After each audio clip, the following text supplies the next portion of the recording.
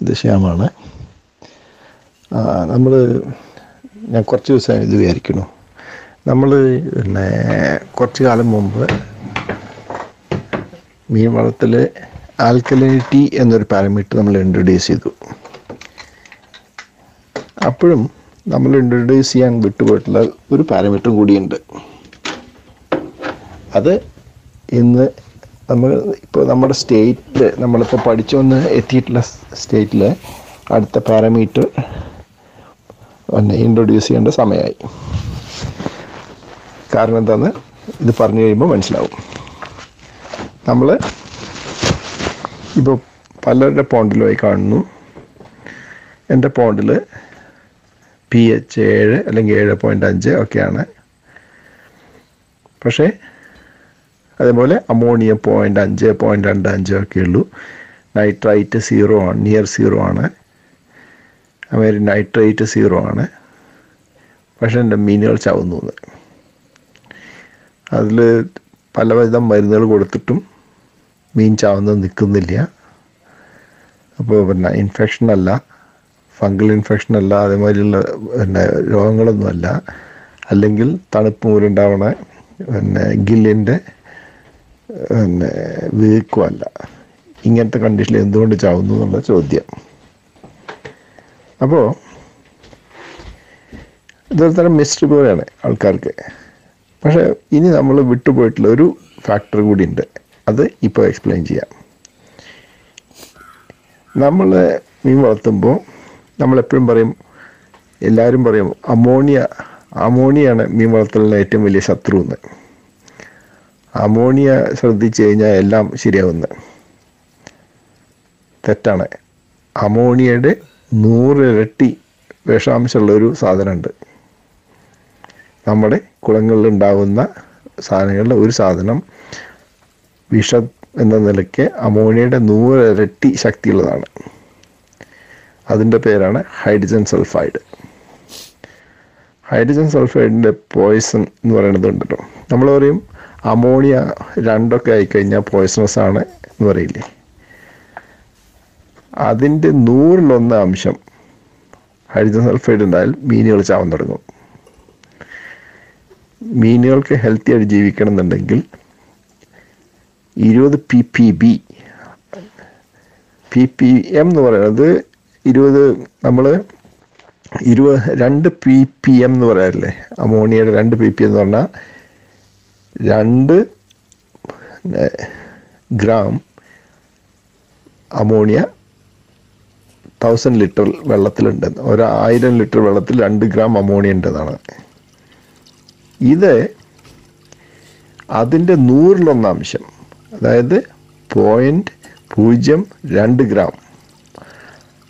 പിന്നെ hydrogen sulphide ആയിരം litre വെള്ളത്തിലുണ്ടെങ്കിൽ മീനുകൾ ചാവും. അതുകൊണ്ട് തന്നെ ഇത് ഭയങ്കര ഡേഞ്ചറസ് ആയിട്ടുള്ള സാധനമാണ്. ഇനി ഇതെങ്ങനെ ഉണ്ടാവണത് നോക്കാം ആദ്യം.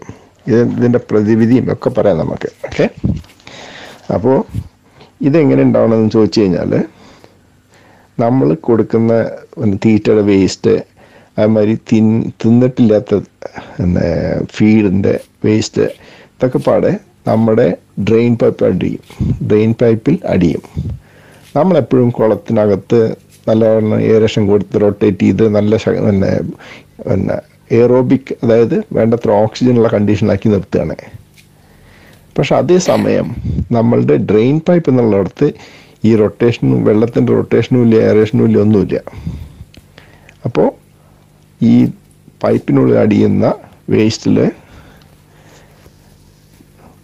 പിന്നെ ഇരിക്കുന്നത് അനറോബിക് കണ്ടീഷനിലാണ് അതായത് ഓക്സിജൻ ഇല്ലാത്ത എയർ ഇല്ലാത്ത കണ്ടീഷനിലാണ് അത് ഇരിക്കുന്നത് അവിടെ ഇരുന്നിട്ട് അത് ഹൈഡ്രജൻ സൾഫൈഡ് ഉണ്ടാക്കും. അതിനകത്തുള്ള പിന്നെ ഈ എന്തുകൊണ്ടാണ് ഹൈഡ്രജൻ സൾഫൈഡ് ഉണ്ടാവുന്നത് നമുക്ക് നോക്കാം.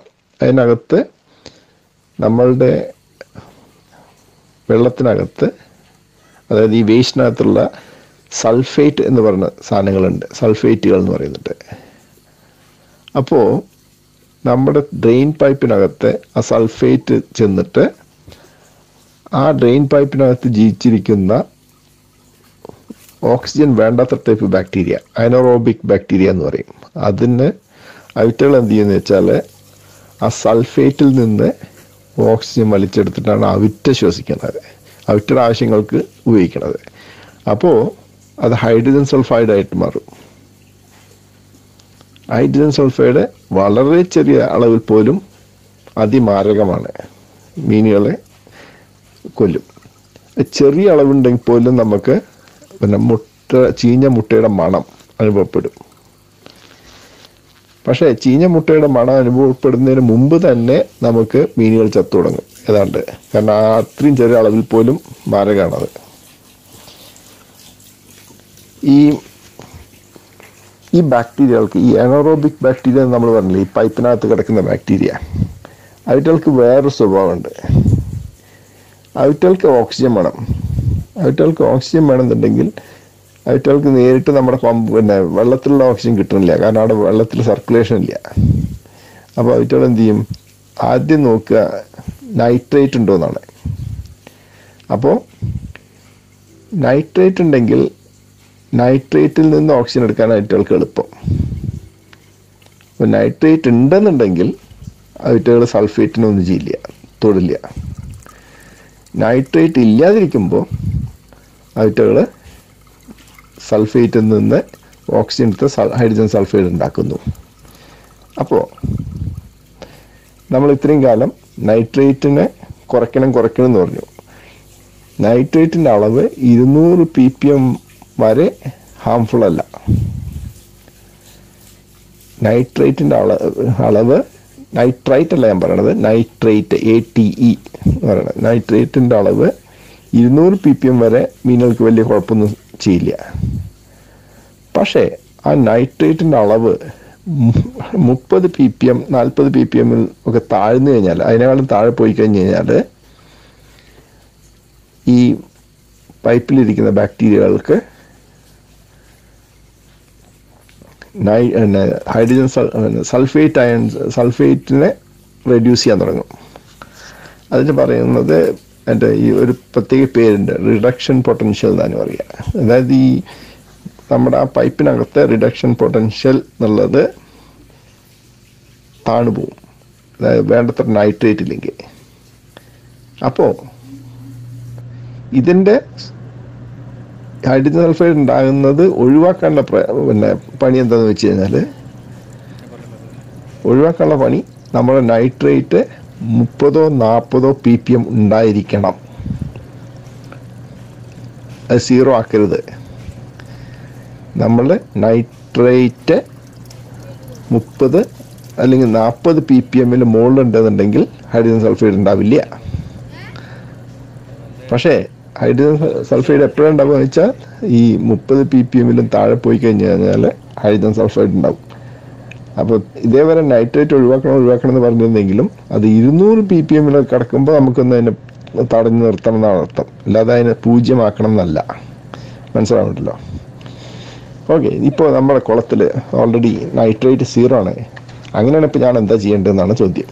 അങ്ങനെ ആകുമ്പോൾ അപ്പോൾ പിന്നെ ഒരു മാർഗമേ ഉള്ളൂ. നമുക്ക് വേണിച്ചിട്ട് നൈട്രേറ്റ് ഉണ്ടാക്കാൻ പറ്റും. എങ്ങനെ ഉണ്ടാക്കിയെന്ന് വെച്ച് കഴിഞ്ഞാൽ കൃത്യമായ അളവിൽ നമുക്ക് നൈട്രേറ്റ് ചേർക്കാൻ പറ്റും കുളത്തിൽ അതിന് കാൽഷ്യം നൈട്രേറ്റ് എന്ന് പറഞ്ഞൊരു സാധനം വാങ്ങിട്ടും വളരെ ചീപ്പാണ് സാധനം. വളരെ വില കുറഞ്ഞ വിലയുള്ളൂ അതിന് കാൽഷ്യം നൈട്രേറ്റ് ഒരു നൂറ്ററുപത്തിനാല് ഗ്രാം കാൽഷ്യം നൈട്രേറ്റ് വെള്ളത്തിൽ ചേർത്ത് കഴിഞ്ഞാൽ അതിൽ നൂറ്റി ഇരുപത്തിനാല് ഗ്രാം നൈട്രേറ്റ് നൈട്രേറ്റ് കിട്ടും. നൂറ്റി അറുപത്തിനാല് ഗ്രാം കാൽഷ്യം നൈട്രേറ്റ്. ചേർത്താൽ നൂറ്റി ഇരുപത്തിനാല് ഗ്രാം നൈട്രേറ്റ് കിട്ടും. അപ്പോൾ നമ്മുടെ വെള്ളത്തിൽ നാൽപ്പത് പി പി എം നൈട്രേറ്റ് ഉണ്ടാക്കണം എന്നാണ് നമ്മുടെ ആവശ്യം. ഇപ്പോഴത്തെ പി പിന്നെ നമ്മുടെ നൈട്രേറ്റിന്റെ അളവ് പൂജ്യമാണ്. നമുക്ക് നാൽപ്പത് പി പി എം നൈട്രേറ്റ് ഉണ്ടാക്കണമെന്നുണ്ടെങ്കിൽ ഓരോ ആയിരം ലിറ്ററിനും നാൽപ്പത് ഗ്രാം നൈട്രേറ്റ് ആവശ്യമുണ്ടല്ലോ അതിന് വേണ്ടി നമ്മൾ വേണച്ചിട്ട് അമ്പത്തിമൂന്ന് ഗ്രാം കാൽഷ്യം നൈട്രേറ്റ് ചേർക്കുക. അമ്പത്തി മൂന്ന് ഗ്രാം കാൽഷ്യം നൈട്രേറ്റ് ചേർക്കുക.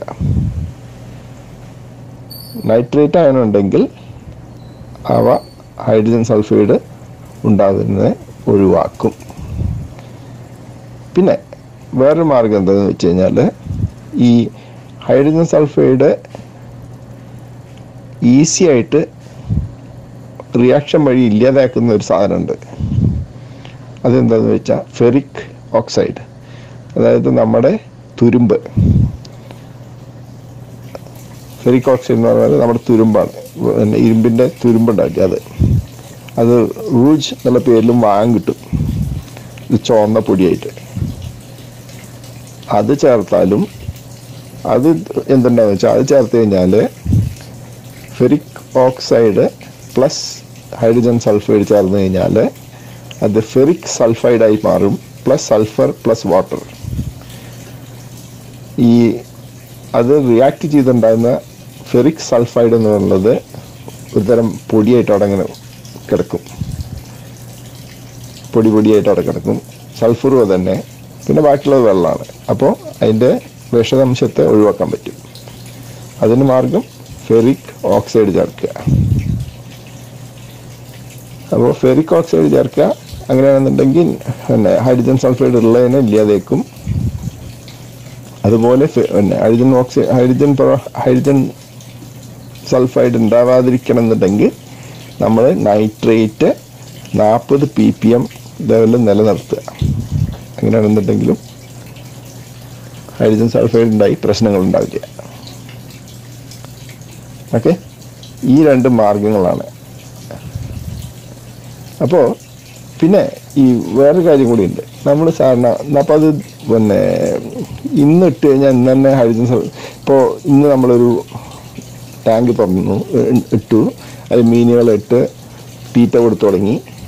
അപ്പം നാളെ ആകുമ്പോഴേക്കും ഹൈഡ്രജൻ സൾഫൈഡ് ഉണ്ടാകുമെന്ന് ചോദിച്ചു കഴിഞ്ഞാൽ ഈ പൈപ്പിനകത്ത് നാളെ ആകുമ്പോഴേക്കും ഹൈഡ്രജൻ സൾഫൈഡ് ഉണ്ടാവുമോ എന്നൊരു ചോദ്യം ഉണ്ടാവാം. ഇല്ല. സാധാരണഗതിയിൽ രണ്ടാഴ്ച കാലം വേണം. ഈ പിന്നെ വെള്ളം ആ പൈപ്പിനകത്ത് രണ്ടാഴ്ചക്കാലം കെട്ടിക്കിടന്നാലാണ് സാധാരണഗതിയിൽ ഹൈഡ്രജൻ സൾഫൈഡ് ഉണ്ടാവുക.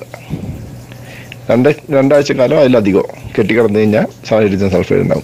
അപ്പോൾ ശ്രദ്ധിക്കേണ്ട കാര്യം നിങ്ങളുടെ ഈ എക്സോസ് പൈപ്പ് ഉണ്ടല്ലോ അതിലുള്ള വെള്ളം കഴിയുന്നതും ഒരു മൂന്നാൽ ദിവസം കൂടുമ്പോഴെങ്കിലും ഒന്ന് തുറന്ന് കളയുക. അങ്ങനെയാണെന്നുണ്ടെങ്കിൽ അപ്പോൾ അതിനകത്ത് കിടക്കുന്ന വെള്ളമൊക്കെ പുറത്തോട്ട് പോയി പുതിയ വെള്ളം വരുമല്ലോ. അപ്പോൾ അവിടുത്തെ എറോ അനോറോബിക് അതായത് ഓക്സിജൻ ഇല്ലാത്ത സോൺ എന്നുള്ളത് ഇല്ലാതെയാവും പിന്നെ വീണ്ടും മൂന്ന് ദിവസം കഴിയുമ്പോൾ വീണ്ടും തുറന്നു വിടുക അങ്ങനെ അങ്ങനെ മാറ്റി മാറ്റി ഇടുക. ഓക്കെ ഇനി ഈ ഇതേ പ്രക്രിയ ശരിക്കും പറഞ്ഞു കഴിഞ്ഞാൽ നമ്മൾ നാളെ പിന്നെ നമ്മുടെ സെറ്റിലിംഗ് ടാങ്ക് സെറ്റിലിംഗ് ടാങ്ക് വെക്കുമ്പോൾ എന്ത് പറ്റുമെന്ന് ചോദിച്ചാൽ നമ്മൾ ഈ വെള്ളം ടാങ്കിൽ നിന്ന് എക്സോസ് പൈപ്പ് വഴി സെറ്റിലിംഗ് ടാങ്കിൽ പോകും. ഇത് പിന്നെ സെറ്റിലിംഗ് ടാങ്ക് വഴി തിരിച്ച് വെള്ളം പൈപ്പ് പിന്നെ പോണ്ടിലേക്ക് വരും. അങ്ങനെ അങ്ങനെ ആകുമ്പോൾ ആ എക്സോസ് പൈപ്പിൽ അനോറോബിക് സോൺ അതായത് ഓക്സിജൻ ഇല്ലാത്ത സോൺ എന്നുള്ളത് നിലനിൽക്കില്ല. ഓക്കെ നിലനിൽക്കില്ല. നില നിലനിൽക്കില്ല എന്നുണ്ടെങ്കിൽ പല ഗുണങ്ങളുമുണ്ട് ഒന്ന് ഹൈഡ്രജൻ സൾഫൈഡ് എന്ന് പറയുന്നത് മീനുകളെ കൊല്ലുക മാത്രമല്ല. മീനുകളുടെ വളർച്ചയെ വളരെയധികം ബാധിക്കും ഈ ഹൈഡ്രജൻ സൾഫൈഡ്. ചെറിയ കോൺസെൻട്രേഷനിൽ പോലും ഹൈഡ്രജൻ സൾഫൈഡ് ഉണ്ടെന്നുണ്ടെങ്കിൽ മീനുകളുടെ വളർച്ച മുരടിക്കും. മാത്രമല്ല പിന്നെ പിന്നെ വളർച്ച മുരടിക്കും പിന്നെ കുറച്ച് ലെവൽ അധികം കഴിഞ്ഞാൽ പെട്ടെന്ന് ചാവും ചെയ്യും. പിന്നെ വേറൊരു എഫക്റ്റും കൂടിയുണ്ട്. സാധാരണഗതിയിൽ നമ്മൾ തീറ്റ പിന്നെ ഒരു കിലോ മീൻ കിട്ടാൻ വേണ്ടിയിട്ട് നമ്മൾ പറയും ഒന്ന് തന്നെ ഒന്ന് പോയിന്റ് അഞ്ച് കിലോ തീറ്റ കൊടുക്കണം അല്ലെങ്കിൽ ഒന്ന് പോയിന്റ് നാല് കിലോ തീറ്റ കൊടുക്കണം എന്നാ പറയും. അതിനെ feed to fish conversion ratio F C R എന്ന് പറഞ്ഞിട്ട് ഒരു നമ്പർ ഉണ്ട് അത് നമ്മൾക്ക് കൂടുതൽ മീൻ കിട്ടണം കുറച്ച് തീറ്റ കൊടുത്തിട്ട് എന്നുള്ളത് ആവശ്യം. പക്ഷേ ഈ ഹൈഡ്രജൻ സൾഫൈഡ് ഉണ്ടെന്നുണ്ടെങ്കിൽ ഈ എഫ് സി ആർ മോശമായി വരും വളരെ. അപ്പോൾ വേണ്ടത്ര മീൻ കിട്ടൂല മീൻ ചാവും വരൾച്ച മുരടിക്കും അങ്ങനത്തെ പല ഇഫക്റ്റുകളും ഉണ്ട്. അതുകൊണ്ട് തന്നെ ഈ ഇഫക്റ്റുകളൊക്കെ ഇല്ലാതാക്കുന്നതാണ് ശരിക്ക് ഈ നമ്മുടെ സെറ്റിലിംഗ് ടാങ്ക്.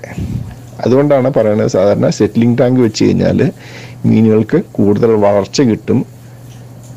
അതുമാതിരി ഈ ഹൈഡ്രജൻ സൾഫേറ്റ് ഫോർമേഷൻ ഒഴിവാക്കാൻ പറ്റും. പക്ഷെ ആ പിന്നെ സെറ്റിലിംഗ് ടാങ്കിൽ നിന്നും ഒഴിവാക്കാൻ ഈ ഇതിന് വേണ്ട ഇടയ്ക്കിടയ്ക്ക് അത് ഒഴിവാക്കണം. അതല്ലെങ്കിൽ അത് ശ്രദ്ധിച്ചില്ലെങ്കിൽ പ്രശ്നമാണ്. ഓക്കെ? അപ്പോൾ പിന്നെ കാര്യം മനസ്സിലായി വിചാരിക്കുന്നു. പിന്നെ വേറെ നമ്മൾ ഈയിടെ നമ്മൾ ഒരു വേറൊരു സിസ്റ്റം ഇൻട്രൊഡ്യൂസ് ചെയ്യിച്ചില്ലേ? മറ്റേ എന്നെ എക്സോസ്റ്റ് പൈപ്പിൽ നിന്ന് ഓവർഫ്ലോ പൈപ്പ് വഴി തിരിച്ച് കുളത്തിലേക്ക് കണ്ടിന്യൂസ് ആയിട്ട് വെള്ളം സർക്കുലേറ്റ് ചെയ്യുന്നത്. അങ്ങനെ ചെയ്തു കഴിഞ്ഞാൽ സാധാരണഗതിയിൽ എന്തുണ്ടാകുന്ന വെച്ചാൽ ആ പൈപ്പിനകത്തുള്ള വെള്ളം തുടർച്ചയായിട്ട് മാറിക്കൊണ്ടിരിക്കണോണ്ട് ഹൈഡ്രജൻ സൾഫൈഡ് ഉണ്ടാവില്ല. അങ്ങനെ ചെയ്താലും ഈ പ്രശ്നം ഒഴിവാക്കാൻ പറ്റും. ഇത് മനസ്സിലായി വിചാരിക്കുന്നു. ഇത് നമ്മൾ ഇതേവരെ ഇൻട്രൊഡ്യൂസ് ചെയ്യാത്തൊരു ഫാക്ടറാണ് കാരണം ഇത് മനസ്സിലാക്കണമെന്നുണ്ടെങ്കിൽ ആദ്യം ഇതുവരെ നമ്മൾ പഠിച്ച കാര്യങ്ങളൊക്കെ മനസ്സിലായാലേ ഉള്ളൂ ഈ പോയിന്റിലേക്ക് വന്നിട്ട് കാര്യം. അതുകൊണ്ട് ഇൻട്രൊഡ്യൂസ് ചെയ്തില്ല. പക്ഷേ ഇപ്പോൾ നമുക്ക് കാണാൻ പറ്റും കുറച്ചധികം പേരുടെ പ്രശ്നങ്ങളിൽ പി എച്ച് നോർമലാണ് അമോണിയ നോർമലാണ് നൈട്രേറ്റ് നോർമലാണ് നൈട്രേറ്റ് സീറോ ആണ്. ആ സീറോ ആവുന്നതാണ് കുഴപ്പം. സീറോ ആക്കരുത്. ഒന്നുകിൽ വെള്ളം സർക്കുലേറ്റ് ചെയ്യിപ്പിക്കുക എക്സോസ് പൈപ്പിലൂടെ അല്ലാന്നുണ്ടെങ്കിൽ അതിന് നിവൃത്തിയൊന്നുമില്ല എന്നുണ്ടെങ്കിൽ കാൽഷ്യം നൈട്രേറ്റ് എങ്ങനെ ചേർത്ത്? നൈട്രേറ്റ് ലെവൽ നിലനിർത്തുക. കാര്യം മനസ്സിലായി എന്ന് വിചാരിക്കുന്നു. എന്തെങ്കിലും സംശയം ഉണ്ടെങ്കിൽ ചോദിക്കാം. അതിന് ഉത്തരം പറയാം. ഈ ഹൈഡ്രജൻ സൾഫൈഡ് എന്ന് പറയുന്നത് പി എച്ച് ആയിട്ട് ഭയങ്കര ബന്ധമുണ്ട്. വെള്ളത്തിന്റെ പി എച്ച് ആയിട്ട് വളരെ വളരെയധികം ബന്ധമുണ്ട്. പി എച്ച് എട്ടായിരിക്കുമ്പോൾ അതായത് വെള്ളത്തിന്റെ പി എച്ച് എട്ടായിരിക്കുമ്പോൾ ഹൈഡ്രജൻ സൾഫൈഡ് ഉള്ള ഈ ഹൈഡ്രജൻ സൾഫൈഡ് ഉണ്ടാകുമ്പോൾ തന്നെ അത് കുറച്ച് വെള്ളത്തിൽ ലയിക്കും കുറച്ച് വെള്ളത്തിൽ ലയിക്കാതിരിക്കും. ഈ അമോണിയയിൽ പറയുമ്പോൾ ലയിക്കാത്ത അമോണിയാണ് ഏറ്റവും ഡേഞ്ചറസ് എന്ന് പറയും. അതുപോലെ തന്നെ ലയിക്കാത്ത ഹൈഡ്രജൻ സൾഫൈഡാണ് ഏറ്റവും ഡേഞ്ചറസ് അത് പി എച്ച് എട്ടായിരിക്കുമ്പോൾ ലയിക്കാതെ പിന്നെ ലയിക്കാതെ നിൽക്കുന്നത് ഏതാണ്ട് ഒരു പത്ത് ശതമാനം. ആകെയുള്ള ഹൈഡ്രജൻ സൾഫൈഡിന്റെ പത്ത് ശതമാനമേ ഉള്ളൂ. നേരെ മറിച്ച് പി എച്ച് ഏഴാവുമ്പോൾ അത് അമ്പത് ശതമാനമായിട്ട് വർദ്ധിക്കും. പിന്നെ അത് പി എച്ച് ആറാവുമ്പോൾ ഏതാണ്ട് എൺപത് ശതമാനമായിട്ട് വർദ്ധിക്കും. അപ്പോൾ ഈ പി എച്ച് എട്ടിൽ നിന്ന് ഏഴാവുമ്പോൾ കൂടുതൽ ഡേഞ്ചറസ് ആവും. അതുപോലെ ഏഴിന്ന് ആറുമ്പോൾ അതിലും ഡേഞ്ചറസ് ആവും. അപ്പോൾ ഹൈഡ്രജൻ സൾഫൈഡിന്റെ സെൻസിറ്റിവിറ്റി എന്ന് പറയുന്നത് പി എച്ച് താഴുമ്പോൾ കൂടുതൽ അപകടകാരി അപകടകാരിയാണത്. ഓക്കെ കാരണം പെട്ടെന്ന് പെട്ടെന്ന് അതിന്റെ അളവ് വർദ്ധിക്കും. മീനിനെ കൊല്ല പി എച്ച് താഴുമ്പോൾ ഹൈഡ്രജൻ സൾഫൈഡും പി എച്ചും കൂടി പി എച്ച് താഴുകയും കൂടി ചെയ്ത് കഴിഞ്ഞാൽ പെട്ടെന്ന് മീനുകൾ ചാവും. അർത്ഥം മനസ്സിലായെന്ന് വിചാരിക്കുന്നു.